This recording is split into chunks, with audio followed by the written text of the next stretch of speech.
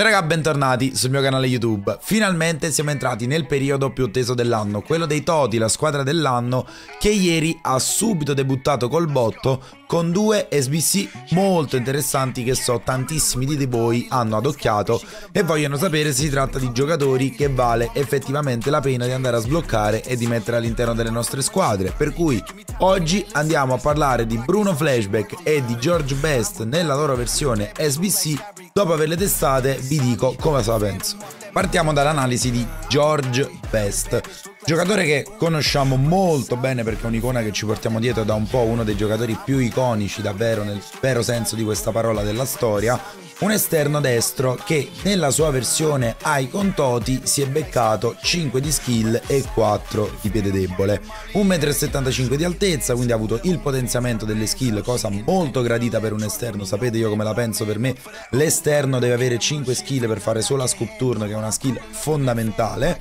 Tipo di accelerazione esplosiva con piede preferito il destro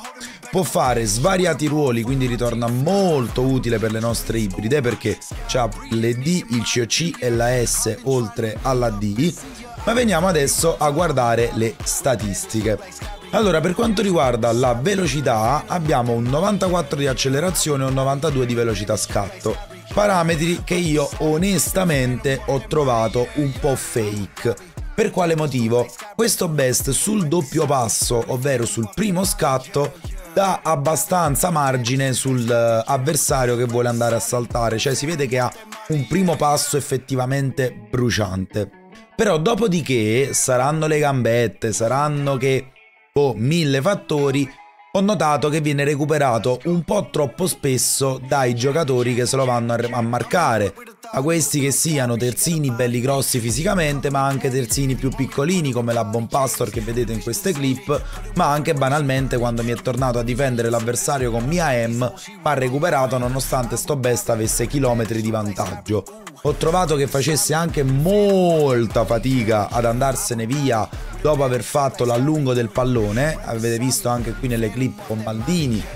come Maldini abbia messo il fisico davanti e Bessi non sia riuscito a superarlo, quindi sulla velocità onestamente sono rimasto un po' perplesso. Per quanto riguarda la finalizzazione invece e la potenza tiro, sono dei parametri assolutamente veritieri. Best davanti alla porta finalizza discretamente bene, ma anche lontano dalla porta perché ha un ottimo tiro dalla distanza. Per quanto riguarda i passaggi, 86 di corto, bene, l'81 di lungo con i filtranti un pochettino mi ha lasciato così perché su una carta del genere 81 di lungo, considerando che deve fare il terzino o tanti di voi magari lo volevano giocare anche trequartista, e beh insomma vi assicuro che non è proprio il massimo della vita. Per quanto riguarda il dribbling abbiamo 93 di agilità, 91 di equilibrio, 90 di reattività con 70 di forza per un giocatore di 1,75 m comunque con un discreto body type, anche in questo caso secondo me abbiamo a che fare con dei parametri abbastanza fake. Fake per quale motivo? Perché palla al piede questo best risulta sia agile ma alle volte anche tanto impacciato, quindi mi è sembrato che alle volte non fosse così reattivo e responsivo a quelli che erano i micromovimenti risultando così abbastanza goffo e di facile preda per i difensori, soprattutto quelli col procione che coi contrasti ti mettono i piedi da tutte le parti.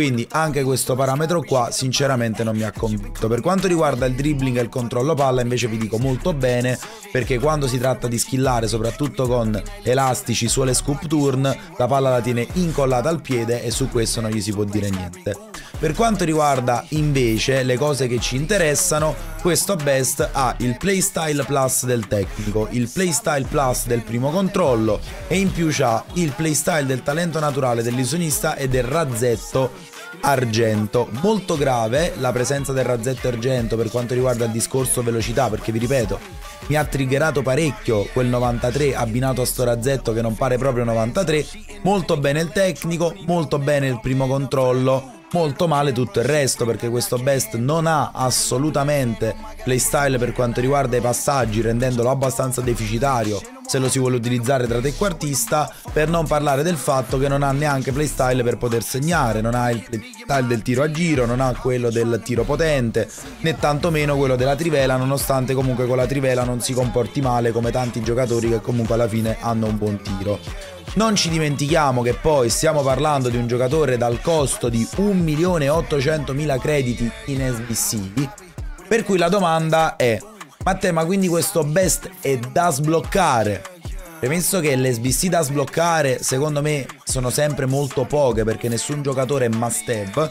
io questo best, considerando le alternative scambiabili e considerando ancora tutto quello che dovrà uscire durante il periodo Toti, onestamente non ve lo consiglio perché è tanto costoso, piuttosto vi prendete una Hansen Trail Blazers scambiabilissima che costa molto meno che gli dà una pista a sto best. Voto 7, si poteva fare di più secondo me con questo giocatore qua che per me ogni anno vorrebbe essere un top player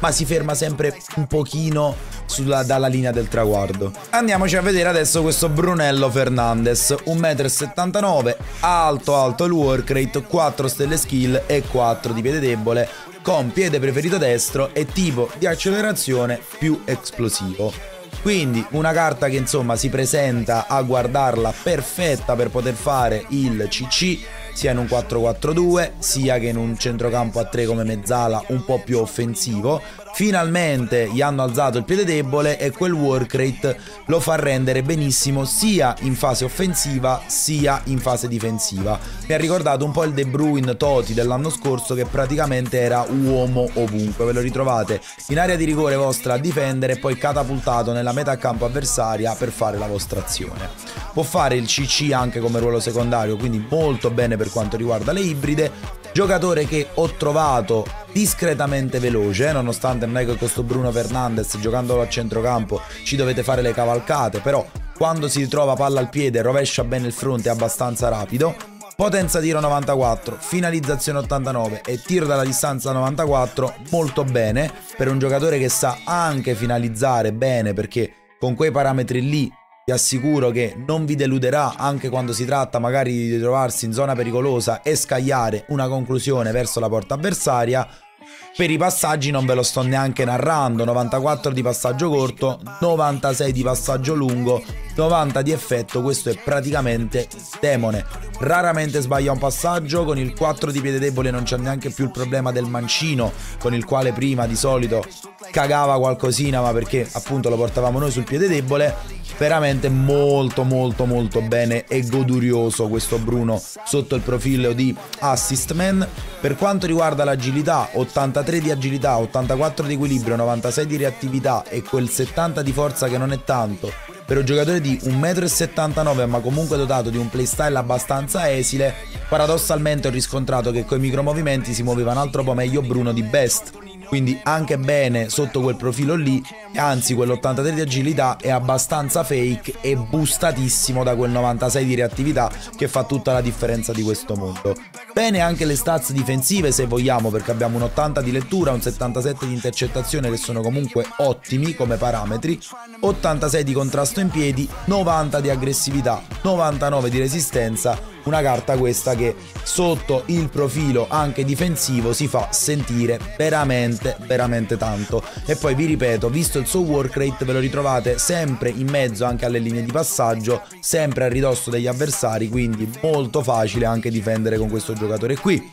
Andiamo a vedere adesso i playstyle perché con i playstyle qui c'è veramente da godere e partiamo con quello plus che è il playstyle del passaggio lungo. Questo qua vi fa degli L1 triangoli che sono da sogno, veramente una roba clamorosa. I um, passaggi lunghi che fa questo Bruno. Tanta roba anche il passaggio incisivo, il passaggio calibrato per completare il repertorio di uh, playstyle per quanto riguarda sempre la fase di assist che poi abbinati a quei parametri di passaggi lì. Non ve lo sto neanche narrando. Poi abbiamo due difensivi molto buoni, ovvero il playstyle base del procione e dell'intercetto. Questo intercetto argento anche qua si sente veramente tanto, abbinato a quel 77 che gustato con un'ombretta sicuramente sale a dare fastidio e in più essendo 1,80 m sto Bruno non è neanche piccolino quindi sulle linee di passaggio lo sentite che è una bellezza poi c'ha talento naturale primo controllo primo controllo anche in questo caso molto bene perché quando stoppiamo il pallone sui driven pass teniamo subito la palla disponibile per poi poter calciare o fare un passaggio. E poi abbiamo anche la batteria e la trivela. In particolar modo la trivela su questo Bruno Fernandes vi dico molto bene. Perché la fa alla perfezione andando ad abbinarsi a un 94 di potenza tiro e un 94 di tiro dalla distanza. Quindi strivela che è un amore e sappiamo come quest'anno la trivela possa essere una, una risorsa quindi arriviamo anche in questo caso alla domanda fatidica ma te ma sto Bruno quindi è da sbloccare? sicuramente è più da sbloccare rispetto a Best perché il costo è un costo di 800.000 crediti, concorrenziale con quelli che sono altri giocatori in quel ruolo perché secondo me è superiore a De Jong, secondo me è superiore ad un Bellingham, è superiore anche rapporto qualità-prezzo secondo me ad altri giocatori come Zidane che è vero che è forte 5-5 tutto che volete voi però questo Bruno a livello di playstyle è pazzesco e costa anche la metà, oltre che facilmente ibridabile essendo portoghese, Premier League, Manchester United. Per me lui promosso a pieni voti, voto 8,5. Raga, anche per questo video è tutto. Come al solito nei commenti fatemi sapere cosa ne pensate, se avete sbloccato già uno di questi due, se lo farete e perché. Io vi ricordo che sono in live tutti i giorni sulla piattaforma Viola e non mi resta altro che augurarvi una buona giornata, un saluto dal vostro Liberoschi e a presto. Ciao! Bad